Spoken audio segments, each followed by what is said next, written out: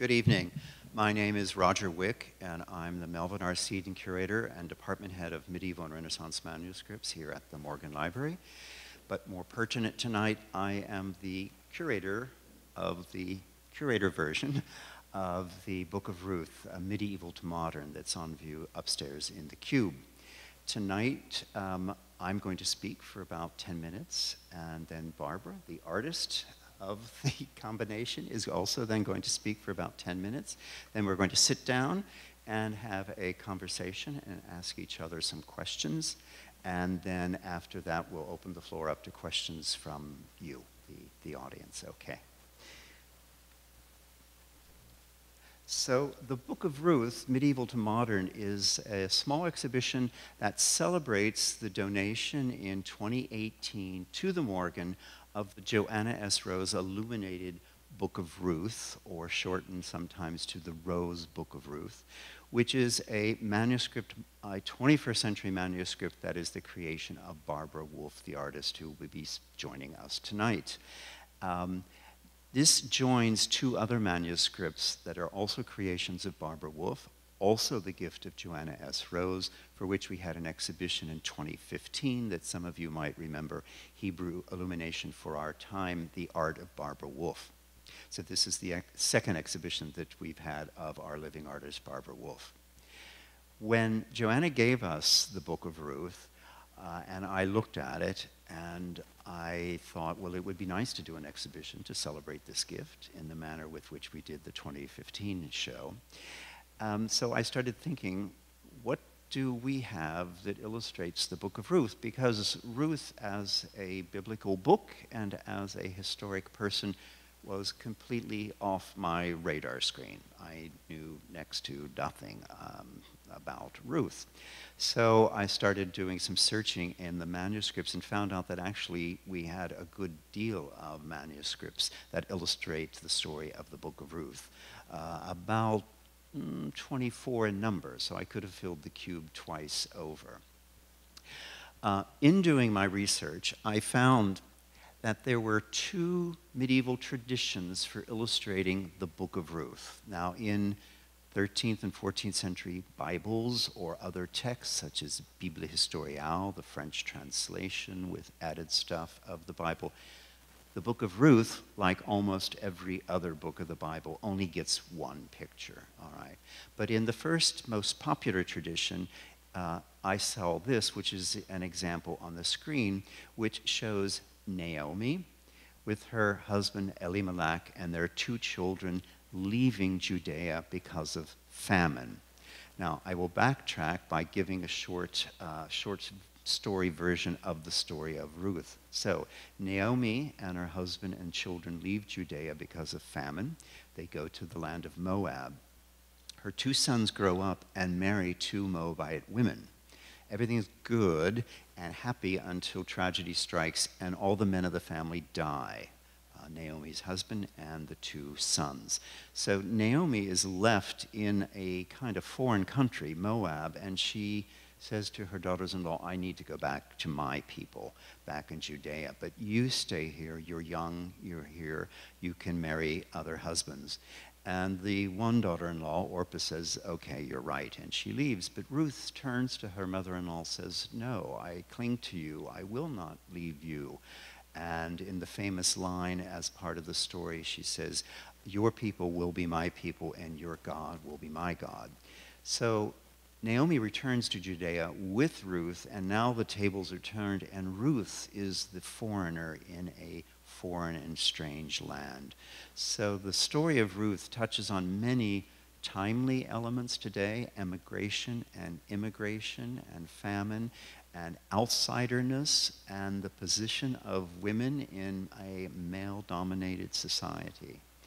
The story continues in that Ruth meets a man, a wealthy man named Boaz, and gleans in his field. And uh, she tells Naomi what she did, and Naomi says, Oh, that's very interesting because actually that man is a relative of yours through your dead husband.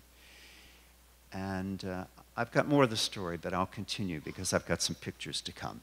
So, the first tradition actually illustrates the departure of Naomi and her husband and two children from Judea. And in this 13th century depiction, you can see how the famine is suggested by that barren, rocky, unhospitable landscape over which the four people have to walk to leave the famine stricken land of Judea. This is another example of the departure, or a little bit, the family has actually entered into the area, the land around Moab. And you see that there are some trees which have fruit on them, grass on the ground and some water with uh, fresh flowing water. So they've arrived into the rich land. But something that might strike you, the 21st century viewers, as a little bit unusual, in that the book of Ruth, as is the tradition that I mentioned, only gets one picture, but the woman who is named after the book is literally out of the picture. She's not to be seen. And that's because there was a tradition in the Middle Ages to, when there was not a long iconographic tradition at hand, to have the artist read the beginning of the story or have it read to them if they were illiterate and illustrate whatever narrative comes up in the opening lines. And that's what this tradition partakes of because the narrative begins was begins with there was famine in the land and Naomi and her husband and children had to leave. There is a second tradition, which is a little bit more to be expected, I think, by our eyes today, and that is uh, illustrated by this 13th century French Bible. And it shows Ruth with the grain that she has gleaned from Boaz's field, returning to Naomi. Naomi is sometimes depicted and sometimes not. And in this one, she's not. But I want you to notice the heads of those people on the windows above Ruth. Now, this is a very small picture. Most of you, I see, have the brochure, so you've seen the exhibition. So you know how small and slender this picture is. Those heads looking out of those windows are about the size of erasers. They're really small, but the artist has packed into them with a little tip of the pen and a little stroke here the suspicion, the wariness, and the leeriness with which these Judeans are looking down out of their windows asking themselves, who is this woman? Oh, that's that stranger. That's that Moabite. Hmm, we don't know about her. But in the Middle Ages, artists could go outside the envelope and do other things. They didn't have to follow the two main traditions. And in this particular English 13th century Bible, the artist decided to illustrate the kind of meet cute between Ruth and Boaz. So there you see Boaz on the left, and he's got a kind of rod, which is symbolic of his authority. And the woman in the middle is Ruth. She's got a nice hat on, and she's asking him if she can glean in her fields. And the guy on the right, leaning over, is one of the reapers. It's interesting in reading the story of Ruth that it was a tradition at the time that the women and the poor could glean, and they actually didn't have to ask permission. But her asking Boaz, her speaking with Boaz, is Ruth's beginning to be proactive with her future and her fate. And that is also one of the themes that runs through the book of Ruth in this 14th century Bible that's huge uh, from probably Bohemia, uh, we see the happy conclusion of the trying events, and that is Ruth in bed with Boaz, and it's their marriage bed. Um, I had one of the visitors ask me about that little curtain that you see uh, that's on the top of the miniature, and that's not there because the scene is a, a, couple in bed. It's a little curtain to protect the painting surface so it doesn't become abraded when those very heavy pages are turned. And then there's this manuscript. I know all of you in this audience are familiar with our very famous book called the Crusader Bible a beautiful picture book that was made in the middle of the 13th century, most probably for King Louis IX, later St. Louis.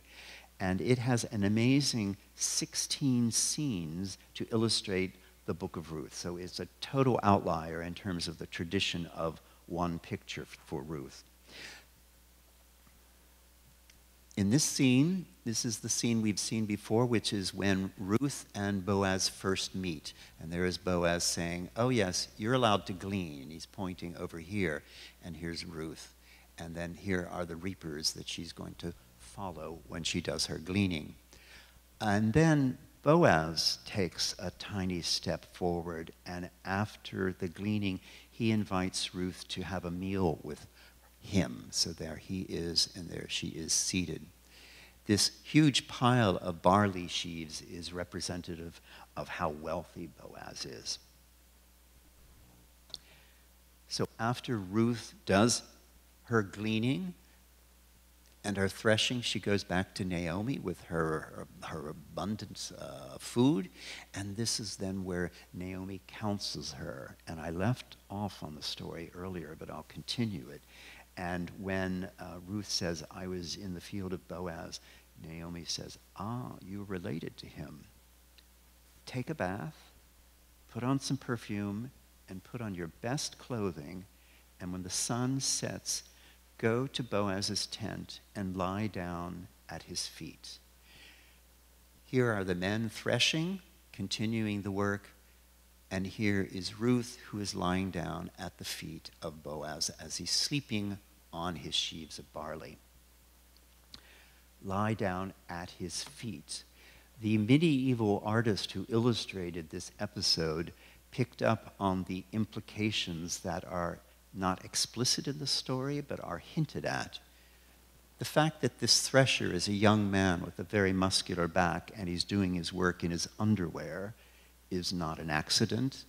And notice the very suggestively positioned basket of seeds which are flying up from this man here. So um, that was their expression of what they thought was going to take place in that tent. The conclusion of the story sees Ruth in bed, pointing to Naomi, her mother in law, who's cuddling her son, uh, Obed, and the women of Judea join. They join the scene, and they're very present because they congratulate Naomi and Ruth for giving birth to a son who's going to be the father of Jesse, who's going to be the father of David. Ruth plays a very important role in the genealogy, as I've just mentioned, of King David. If it hadn't been for Ruth and her meeting Boaz, there would be no David.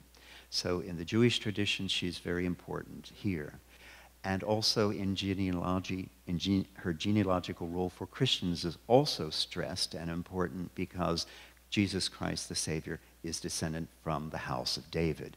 And that's illustrated in what's called the iconography of the tree of Jesse. And that's illustrated this uh, 11th century, sorry, 12th century Psalter uh, leaf here. That's one of the final items in the exhibition. So, I spoke of the medieval component, and now uh, I invite the artist Barbara Wolff to come up and tell you about her creation.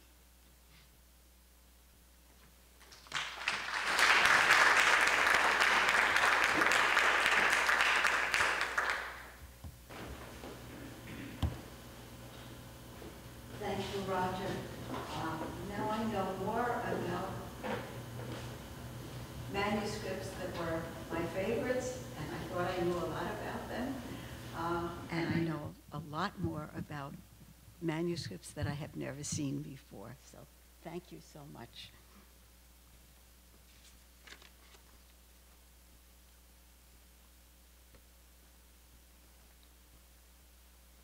The question I needed to ask myself at the start of my artist journey with Naomi and Ruth was, where will my inspiration for picturing their story come from?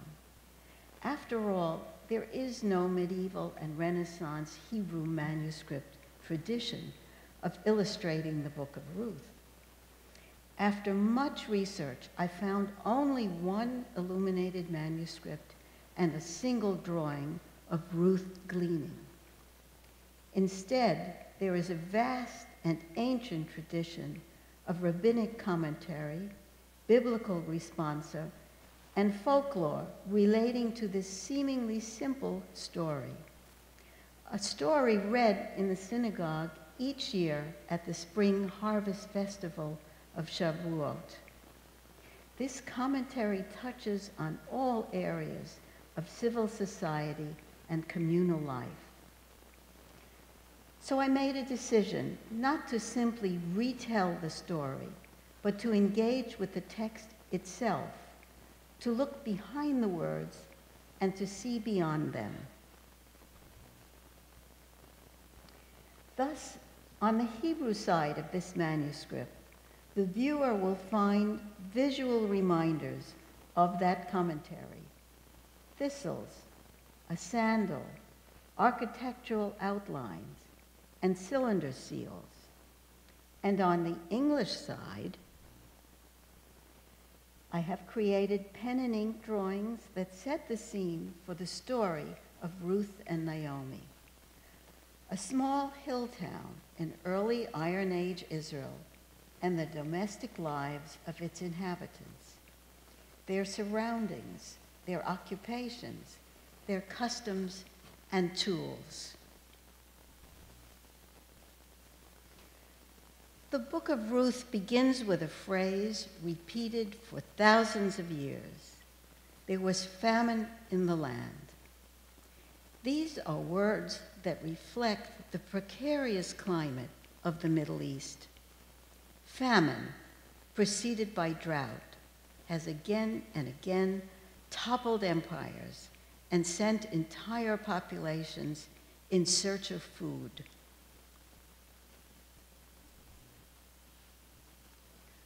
Quote, there was another famine in the land besides the famine that was in the days of Abraham, and Isaac went unto Gerar. The famine was all over the face of the earth, so they took their livestock and went to Egypt, Jacob and all his descendants with him. End quote.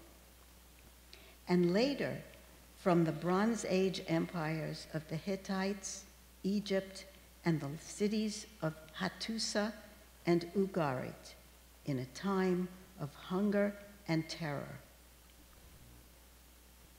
Quote, there was famine in your house and no grain in the land. The living soul of your country you will see no longer. It is a matter of life or death. End quote. The cries of help resound even to the present from the 2008 United Nations Food and Agriculture Organization, quote, drought is increasing. We don't have time to lose. We must act now, end quote.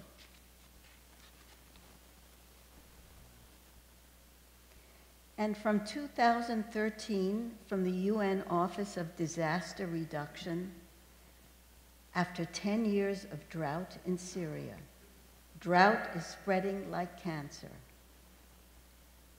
What would describe the impact of those despairing opening words as Elimelech, Ruth, and their children fled Bethlehem for sustenance and safety in Moab? In my mind's eye, I saw the dry fields in Israel at the end of summer where there hasn't been a drop of rain for six months. There, fierce armies of bleached white thistles stand girded with terrible thorns. It is an enduring image of drought. My choice was that thistle, a noxious weed of fallow fields and desolate places. I used platinum here rather than silver for its hard, mirror bright effect. Quote, and the woman was left of her two children and her husband, end quote. Five Hebrew words are all that are needed to describe this scene of sheer hopelessness.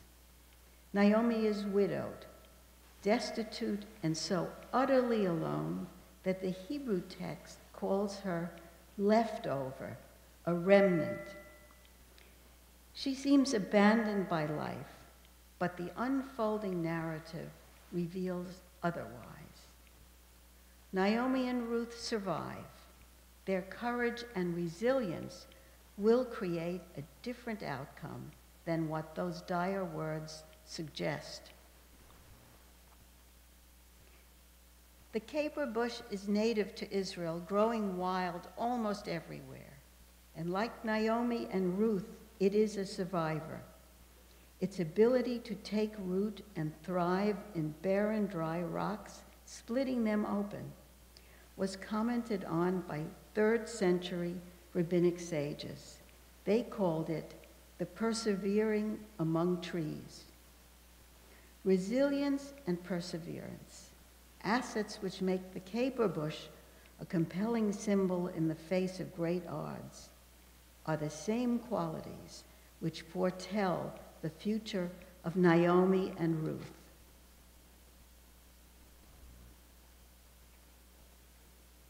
The ripe wheat has been cut. Now it must be threshed, the stalks crushed to release the grain. And Ruth and Boaz meet again, this time in darkness on the threshing floor of Bethlehem, where events will change the direction of the narrative. There are many references to threshing floors in biblical literature, some literal, others symbolic. In prophecy, they're symbols of judgment, where biblical events have occurred on or near them. The event that inspired this illumination was a plague sent by God as a punishment for David's disobedience. When the plague ceased, David was ordered by God to buy a threshing floor and build a sacrificial altar there. It was on that site that Solomon, David's son, later built the Jerusalem temple. So for me, it was just a short distance from that threshing floor to an ancient manuscript by the great 12th century philosopher Maimonides. In that manuscript, Maimonides created a diagram outlining the shape and structure of that long gone building. Here, the Maimonides temple outline in red, blue, purple, and gold has become Beit threshing floor.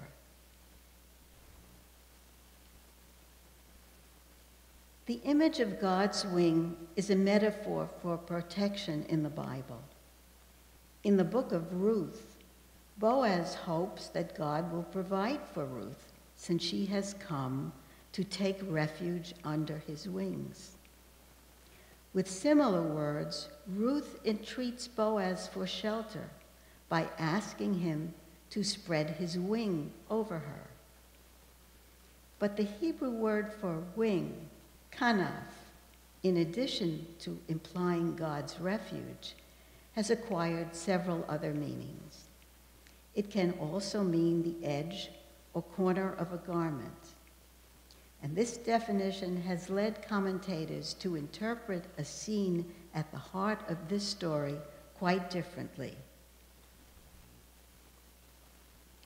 That scene, a threshing floor at midnight, outside the city, released from constraints and charged with sexual innuendo, is filled with mystery and double meanings. The situation is fraught with danger for Ruth, and both reader and commentator are left to ponder. What drove Naomi and Ruth? Was it desperation or faith? What was asked for and what was given? Protection, redemption, marriage, responsibility? I chose to picture the literal definition of kanaf, wing, and lead the reader to tease out their own metaphor.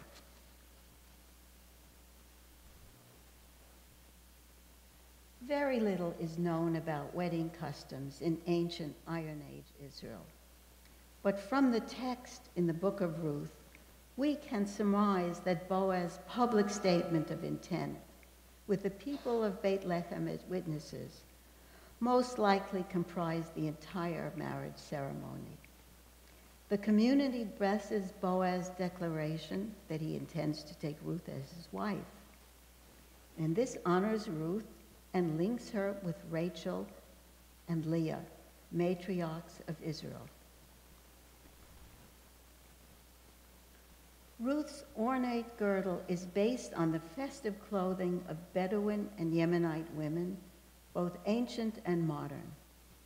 Their brightly woven wedding belts are sewn with hammered silver ornaments, tinkling silver bells, colored beads, and cowrie shell amulets to ensure fertility and as potent shields against the evil eye. Quote, she bore a son, and they called him Obed, end quote. The wedding blessing of the community, a child to renew Naomi's broken family lineage, has been fulfilled with the birth of a son to Ruth and Boaz. In the remains of ancient cities, archaeologists have found durable children's playthings such as balls, clay figures, models of chariots, and pull toys in the form of various animals. One might imagine the child Obed playing with one of them. I have chosen to picture here a charming toy, a wheeled bird with a ram's head. And to conclude the book of Ruth, Obed was to become the father of Jesse and the grandfather of King David. Thank you.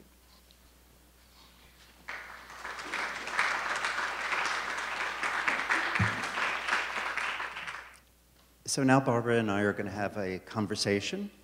She will ask me a couple of questions. I will ask her some, and we'll explore some of the themes of which we've touched on lightly. And as I said, then we'll open up the floor to your questions. Barbara, this is your first question to me. Um, in the exhibit, I saw that there are borders surrounding the, the pictures in the Crusader Bible, and the borders are written in three different languages. Uh, that seems to me to indicate an interesting story. And can you tell us how those borders came to be written in three different languages and how and where? Yes, you might have noticed when I had my slides up, I completely cropped out the um, the words that Barbara is asking about. And they do tell part of a fascinating story of the provenance of this manuscript. And um, I'll briefly recount those elements that touch on the, uh, the, language, the language issue. When the manuscript was made in the middle of the 13th century, as I mentioned, probably for Louis IX, and it's thought that indeed it originally had no, no words at all. Uh, Louis was very well educated and knew his Bible stories, and the theory is that he didn't need any explanations. However, um, by uh, about 50, 60 years later, in the early 14th century, the manuscript had wandered down to Italy, and the first set of inscriptions, Barbara, were added.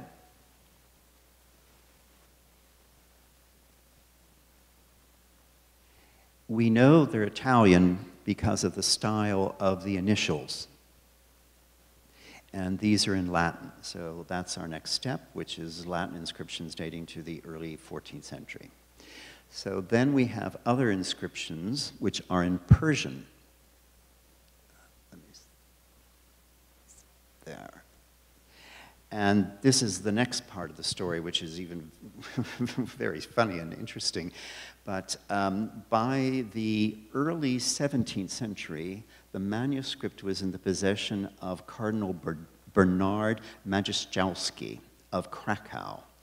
And there was a papal commission sent by Pope Clement VIII to take um, gifts to Shah Abbas, the king of Persia, to encourage him to be tolerant of Christians and intolerant of the Turks. And so uh, the cardinal thought that this would make a nice gift because it's a beautiful manuscript. And so it went off and actually was presented. We know the date of the presentation to the Shah in 1608. Of course, the Shah didn't know the Bible. And so he asked for inscriptions, the Persian inscriptions, to be added in the early 17th century so that he could know what's going on with the pictures. And actually, it's very interesting if you compare the uh, original Latin to the Persian inscriptions. The Persians got things right that the Latin did not. then we hop to the 18th century, and we think that when Isfahan fell by the hand of the Afghans in 1722, the royal treasury and library was then sacked and the manuscript fell into the hands of a Jew living in Isfahan, who, however, then added inscriptions in what are called Judeo-Persian inscriptions. So they're in, they're in Persian, but the letter forms are Hebrew. So that's the third level. So there's actually three levels and three different date times. So the 14th, 17th, and 18th century. So they indeed tell us a lot about the provenance of the book. I'll just quickly add, uh, going forward to the 19th century, it then was uh, bought and owned by the famous vel vellomaniac Sir Thomas Phillipps, who collected thousands of manuscripts, anything that was on vellum. He was very proud of this manuscript, and towards the end of his life, everybody who was anybody wanted to buy this, and nobody could, and the estate kept hold of it until in the early 19th century, it actually was offered to Pierpont Morgan, our founder, in 1910 for 10,000 pounds. 10,000 pound, British pounds seems to be the going rate to get JP. He didn't buy it. We don't know. Uh, it could have been the price, but we're not sure. However, Belle Greene saw it and so JP dies in 1913. Hop to 1917. She goes over to England, and the war's not even over yet. And she uh, makes an appointment with the heir's agent, and she got it offered to her again. Same price. And she was so excited to buy this that actually she agreed to buy it without securing the permission of her boss, which was JP Morgan's son. She didn't want it let slip through the fingers again.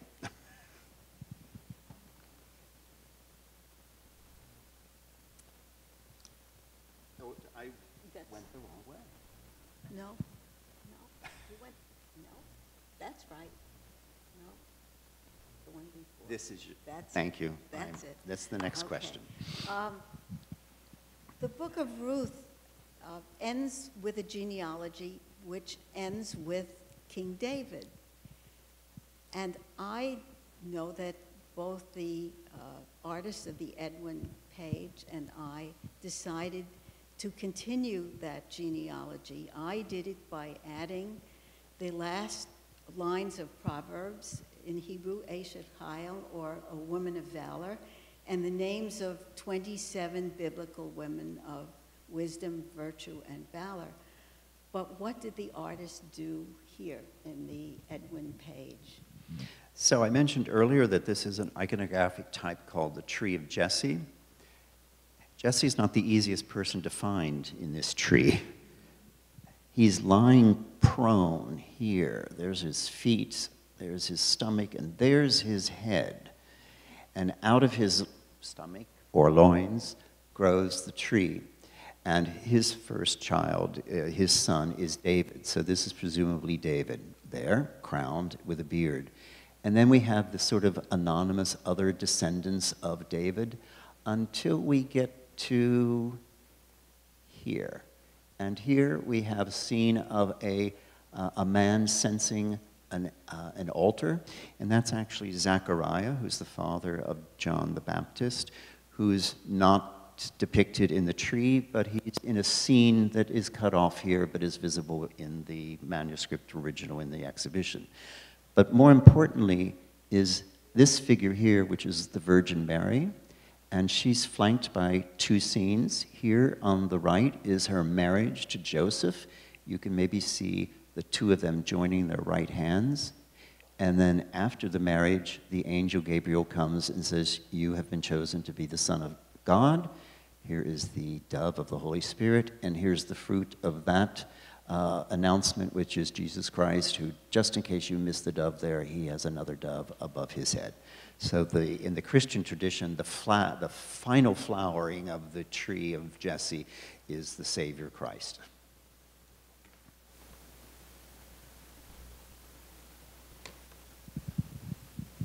This illumination is, is different from all the others.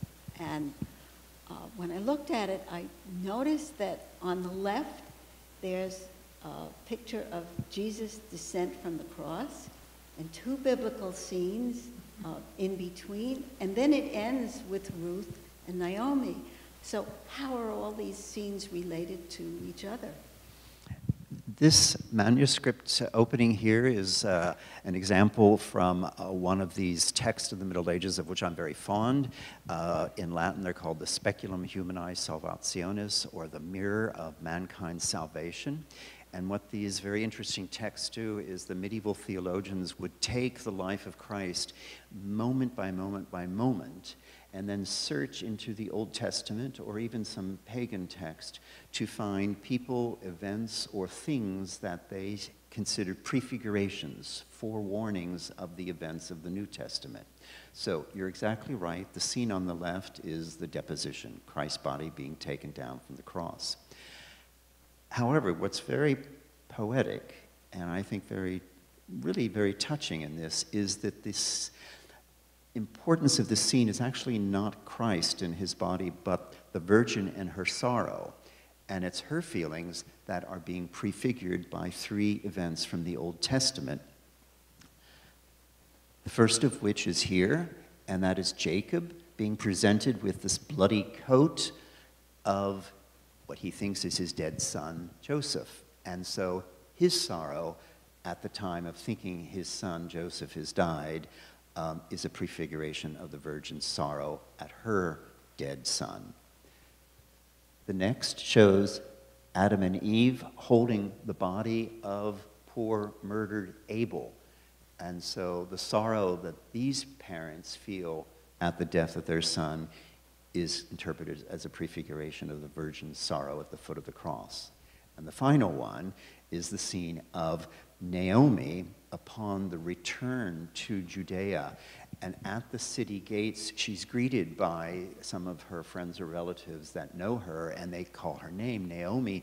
And she says, No, don't call me Naomi, which means happy, but call me Mara, which means miserable, because I am the most miserable person who's lost her husband and her sons. And so that sorrow of Naomi at the loss of three men in her life, two children and husband, is also thought to prefigure the loss of uh, the Virgin Mary's son. So all of them relate to the sorrow felt by a parent at the loss of a child. And I'm not a parent, but I understand that that is one of the most unbearable losses that a parent can feel. Thank you, Roger. So, Barbara, I have a few questions for you. And one touches on the thistle, which you showed in your selection, and I think is one of the most striking images in the manuscript. You mentioned platinum, and uh, I'm correct in seeing that it's also uh, lined with gold? Yes. Yes, I mean, it's, it's an amazing thing. If you haven't seen the thistle, you've got to see it. So that brings up, uh, to me, part of the medieval part of you, which is you're using foils. Uh, uh, mind you, gold and silver we use in the Middle Ages, but you've added to that repertoire platinum. Can you tell us more about your use of these foils? Well, um, really, illumination is all about light and brilliance. And it, that's created by attaching bits of precious metal leaf to the parchment pages and burnishing to a high shine so that the effect that you get when the pages are turned are flashes of light, brilliant, uh, just enlivens the page. And I think the best way for me to tell you how this is done, because it's rather complex, is to sh show you two short film clips. Um, and the first one will show you something about the use of the here gold foil uh, being attached to the pages. Gold leaf uh, comes supplied in, in what we call books. They're, they're small packets of uh, about 20, 25 leaves with a piece of tissue paper in between each leaf. It looks as if there are solid pieces of gold attached to the page. Actually, it's an optical illusion, and the gold leaf that's used for gilding is incredibly thin. Uh, it's so thin that it's almost weightless. The sheet of gold leaf is so thin that if you took it in your hands and rubbed it, it would vanish. In order to hold on to that piece of gold leaf, enable it to be cut into uh, shapes that I need to use to gild with, uh, I place it on a gilder's pad. Once the, the gold leaf has been cut into uh, shapes on the pad, you've got to get it from the pad to the uh, gesso that's, that's waiting for it. My preferred method is to use the very tip of my finger the oils in my skin will hold the piece of leaf firmly in place, and it just hangs there as I transfer it from the pad to the gesso. Once the, the gold is, is firmly secured to the gesso, and once I have enough layers on so that I, I like the look of it, um, it has to be smooth, and that's called burnishing. And burnishing really is, is actually just smoothing and polishing it to a high shine.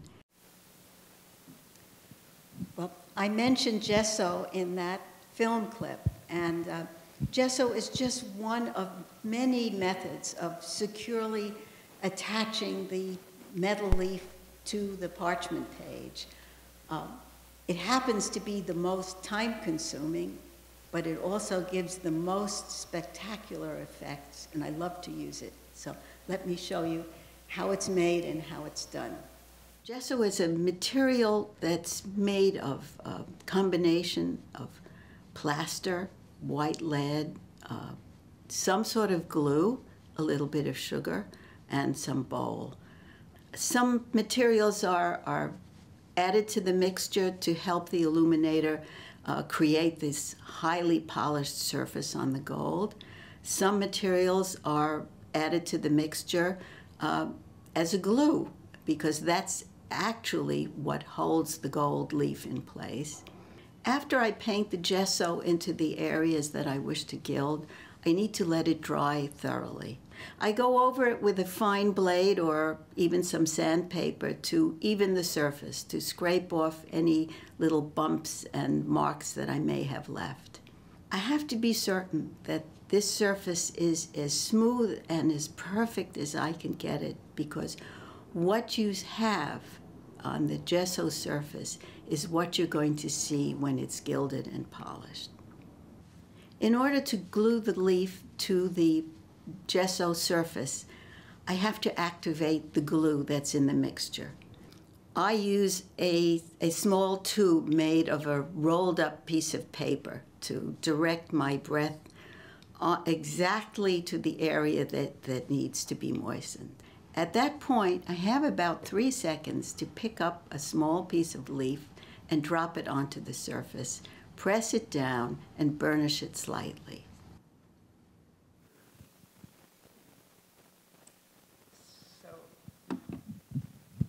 Barbara, I can't help but notice, and I think everyone notices, that um, you don't use a lot of figures in the, Ruth, in the Book of Ruth manuscript. And uh, the slide on the screen shows the largest, uh, which is the dramatic moment of Ruth and Naomi embracing. And I wondered, and, and even with them, we don't see their faces. I'm wondering if this um, avoidance of the human figure is part of a Jewish tradition of avoiding the depiction of the, of the human figure? Uh, there really is no Jewish religious prescription against using the, the human figure. Uh, we don't have a lot of evidence from antiquity, but we do have the third century Dura Europa synagogue, which when excavated in the, in the last century, uh, it was found to be covered with paintings on all the walls of the synagogue of biblical scenes and portraits. So people were pictured. Uh, come forward a bit in time to uh, Muslim Spain, and I have to say that artists were really influenced by the uh, customs of the community in which they lived. And so the creation of Hebrew manuscripts in Muslim Spain followed the Muslim tradition of only using geometric shapes, no figures, in their Quran and other religious books. And many of the Hebrew manuscripts followed that tradition, not completely, they, they do include some figures, but mostly the illuminations were Islamic type carpet pages with Hebrew text or arches and geometric shapes. As you move north in Europe, the tradition changes, and that was also determined by the local rabbinic authority, whatever they felt was acceptable. And here we have really the only other uh, illumination that I found uh, relating to the book of Ruth, and it's in the tripartite Machzor from around 1300 in northern Germany. And there they uh, dealt with the idea of not showing human uh, pictures by substituting animal and birds' heads for the people. There's still another, even more famous uh, illustration of that in the bird's head Haggadah, where every human figure has, rather than a human face, a bird's head. And we know that they were Jews because the, the figure on the left is wearing a Jew's hat. Um, I have to say that on my part, it was a conscious decision not to retell this story, retell the words of the story with pictures, but uh, I felt there was so much interesting commentary that I would tell the story by adding the backstory, the commentary, wherever I could, except for the page where the visual was so iconic that I did include both Ruth and Naomi, where uh, Ruth says, Entreat me not to leave thee, and makes the declaration that your God will be my God. Uh, but I left the viewer to people this book with whoever they thought Naomi would have resembled or Ruth would have resembled. I, I love the shoe, the sandal. It really jumps out of the book. And it's, um, it's, it also takes up a lot of space. It's a large image. Um, what's going on with the shoe? What's the shoe in this? What's, what's the role of the sandal in the story of Ruth? Well, it's a large image because it spawned a large amount of commentary on, not on the shoe itself, but the reason for the shoe. And the shoe, the sandal here, only appears in biblical text used this way it, once in the book of Ruth, and the next time in the book of Deuteronomy, where it's used as a token for a situation where uh, a man has died and left no issue. His wife is widowed with no children. And there the text puts the obligation on his brother or the closest kin to marry that woman, produce a child to carry the name of the deceased, to carry on that family line so that it would not die out in Israel. The book of Ruth presents a strange hybrid. The text doesn't quite say that, but there's another uh, area of text in Leviticus that deals with what's happening in the book of Ruth Naomi's land being sold and offered to the next of kin. And there it says, if your brother is, is impoverished, becomes poor enough to have to sell his possession, meaning his land, it's incumbent on the brother or the next closest kin to buy that land, to redeem the piece of land that's been sold so that it doesn't leave the family, doesn't leave the tribe, it stays with them. So, what you have in the book of Ruth is Boaz coming to the next in line. Boaz says, uh, There is one before me. I will go to the gate and assemble the elders, but there's one who comes before me in choice here.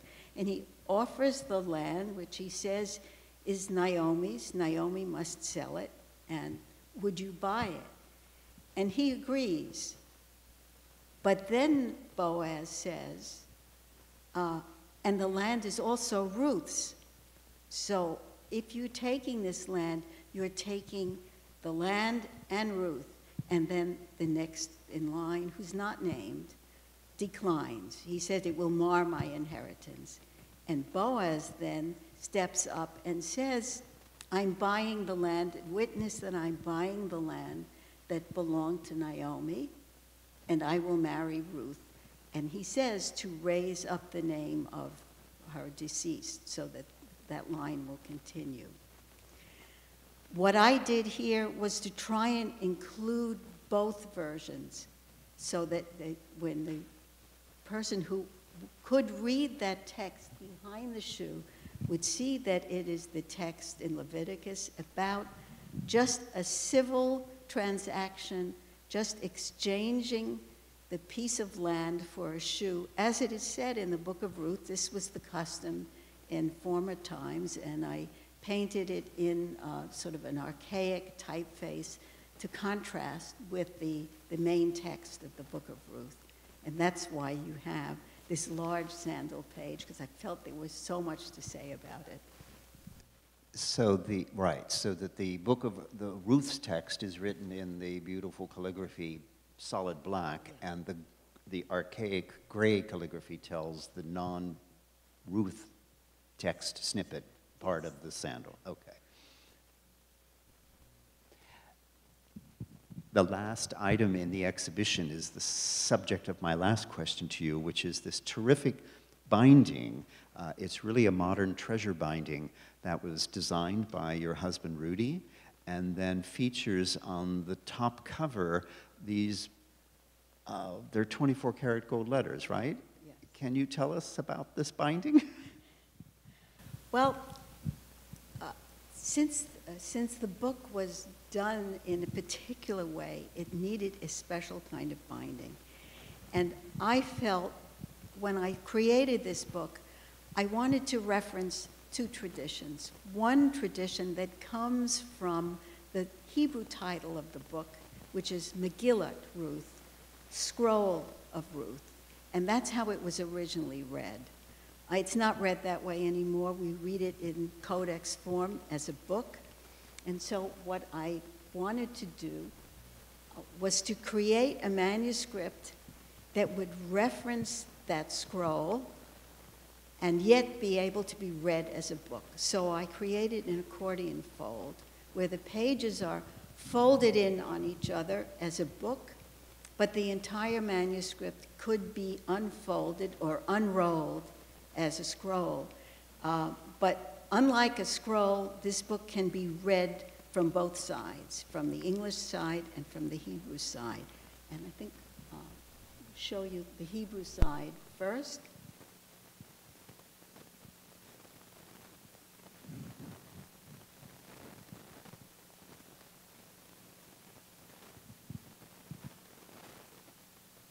And then folded in the opposite direction is the English side.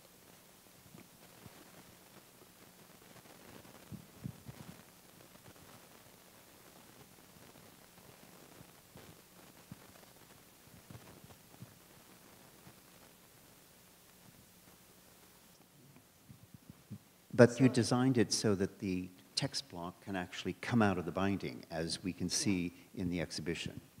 And so that was my second sort of historical reference.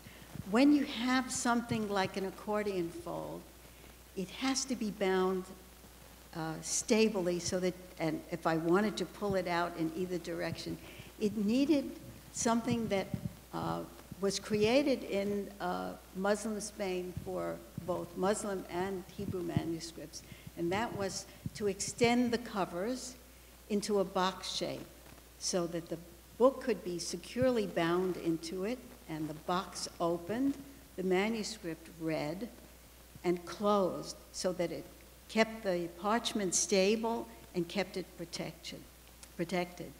But what I did here was to fold the manuscript, attach a separate piece of parchment both to the box and to the manuscript, and in a sort of origami type fold, that manuscript slips into the fold, and if you don't know what to unfold, it looks as if it's securely bound in, but you can take it out. Um, and what I did was also to reference uh, the Morgan's treasure binding, but in creating this treasure binding, um, the box is covered with something called shot silk, which is silk that's woven with two different colored threads so that when you look at the box, at one angle it's purple, like royal purple to reference David, and at another angle, the two different colored threads, purple and orange, blend into the golden color of wheat. But I wasn't finished there, and uh, Joanna Rose did commission the letters for the uh, cover on the box, which say, Your people shall be my people, and your God shall be my God. And an expert silversmith cut those letters out of a sheet of solid 24 karat gold, shaped them into letters, and uh, it has a very intricate fastening, but they're fastened permanently onto the box. Thank you. Thank you. So we have now time to open up the floor, yes, to a few questions. In the back, the woman. Aside, aside from being in awe of your artistry, I'm also in awe of your knowledge. And I have a two-part question. How long have you studied in this area? And when did you first begin your love of this both history and manuscript? Well, I, I can't say I've studied for a long time, but I've been interested in it all my life. Um, I think I always loved to come and see manuscripts at the Morgan and any other place that they were being displayed. I always had a love of, of research and a fascination with biblical texts, not exactly from a religious point of view, but as a text and as a study of, of the history of, of Judaica. So I think it's been a, a lifelong interest. Uh,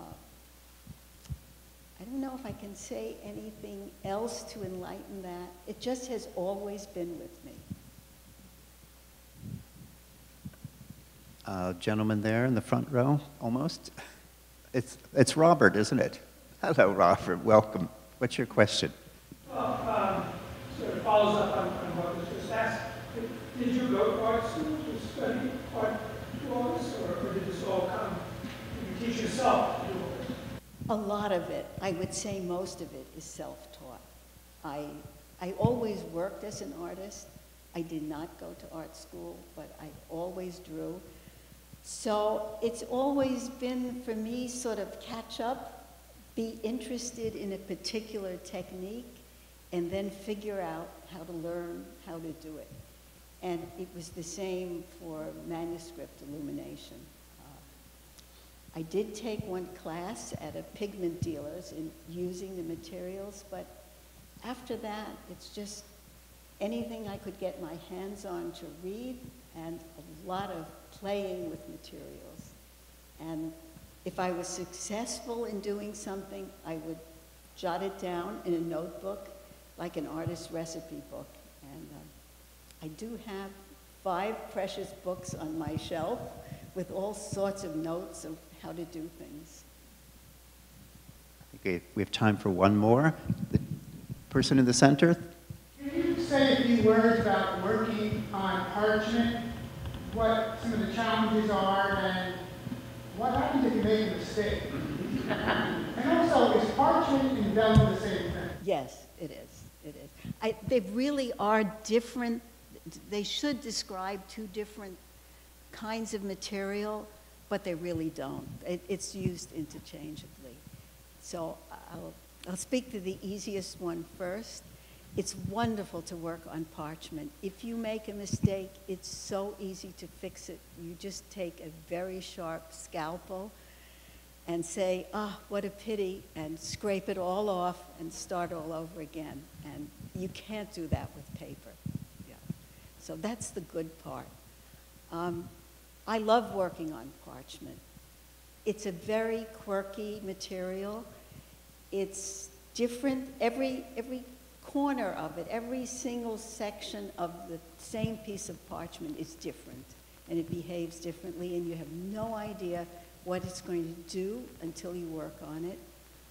It changes with the humidity, it expands, contracts, changes shape, and I find that really exciting. It's, it's very alive, and it's an absolutely beautiful surface to work on. I mean, you, you get colors that you don't get on paper. So I love working on it. Where is it from? Uh, the parchment that I use comes from England. There's one parchment maker there that's been in business, I think, for probably two and a half centuries. And it, they make the finest parchment I've ever seen. There's a dealer here that imports it. And when I'm working on a manuscript, I go out and select from whatever stock they have. And if it's not enough, they'll put it in another order and we'll see what the next batch brings until I have enough for a book. Thank you all very much for coming and enjoy the exhibition.